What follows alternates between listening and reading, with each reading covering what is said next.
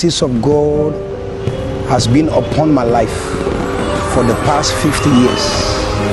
When I look at ministry, I feel very fulfilled for the past 30 years. I look back at what God has used me to accomplish by the grace of God for ministry, locally, internationally, in terms of the branches of the ministry, the pastors that God has used me to raise, pastors, prophets, evangelists, teachers, and so forth and so on. I feel very, very fulfilled.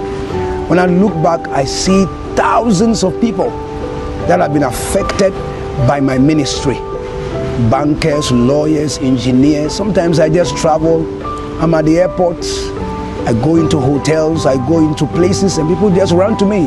Sometimes I cannot even recollect, but almost every one of them tells me of how my life and my ministry has impacted their life. And so I feel very fulfilled in ministry and thankful to God for where He has brought me.